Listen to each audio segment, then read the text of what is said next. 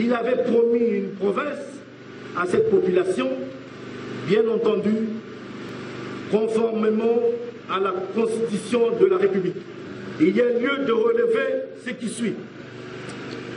1. Le président Joseph Kabila Kabangé reste le garant de la paix en République démocratique du Congo. 2. Il réalise ce qu'il promet, sauf trahison de ses collaborateurs. Ce député provincial a refusé de cautionner les résolutions du récent congrès de son ancienne formation politique qu'il considère comme étant de la trahison envers Joseph Kabila. Par rapport à ce congrès, ils ont dans l'opposition.